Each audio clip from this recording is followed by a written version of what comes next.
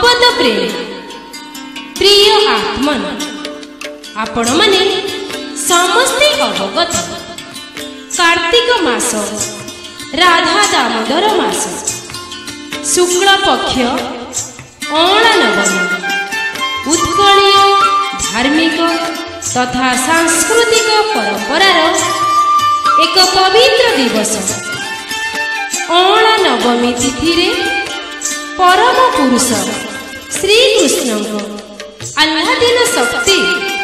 ପରମ ପ୍ରେମ ସ୍ୱରୂପ ରାଧାରାଣୀଙ୍କର ପାଦପଦ୍ମ ଦର୍ଶନ କରିବାର ପରମ୍ପରା ବହୁ ପ୍ରାଚୀନ। ଏହି ଧାର୍ମିକ ପରମ୍ପରାକୁ ନେଇ ଶ୍ରୀ ରାଧାରାଣୀଙ୍କର ପାଦପଦ୍ମ କରିବା ନିମନ୍ତେ ଶ୍ରୀ ଶ୍ରୀ ରାଧାକାନ୍ତ ମଠ ନୂଆଗାଁ ନିଆଳି କଲେଜ ଛକ ନିକଟସ୍ଥ।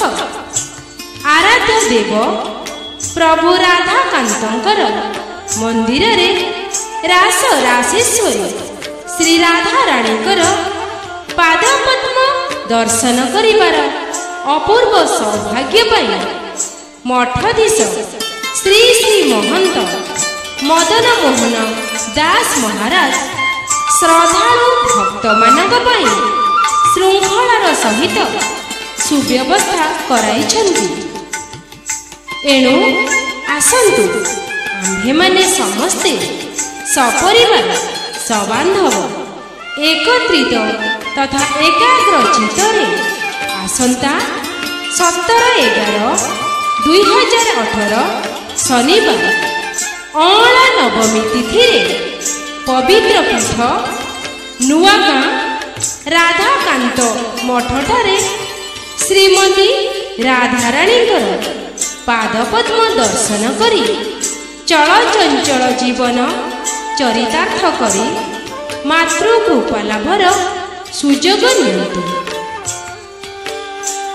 ଆଉ ଥରେ କହି ରଖିବାକୁ ଚାହେଁ ଆସନ୍ତା ସତର ଏଗାର ଦୁଇ ହଜାର ଅଠର ଶନିବାର ଅଁଳା ନବମୀ ତିଥିରେ ରାଧାକାନ୍ତ ମଠ ନୂଆଗାଁଠାରେ ସକାଳ ପାଞ୍ଚ ଘଟିକା ଠାରୁ ସନ୍ଧ୍ୟା ଆଠ ଘଟିକା ପର୍ଯ୍ୟନ୍ତ ରାଧା ପାଦ ଦର୍ଶନ କରିବାର ଅପୂର୍ବ ସୁଯୋଗ ନେବାକୁ ଅନୁରୋଧ